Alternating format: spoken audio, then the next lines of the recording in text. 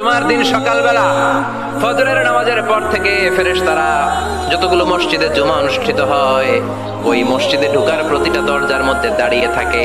কারা কারা আগে আগে জুমার নামাজ পড়ার জন্য মসজিদে যায়, প্রত্যেকের নামগুলো একটা জান্নাতের রেজিস্ট্রি খাতার মধ্যে তুলে নেয়। এই নামগুলো স্পেশালি আল্লাহর কাছে পাঠানোর জন্য। সুবহানাল্লাহ কবেন না?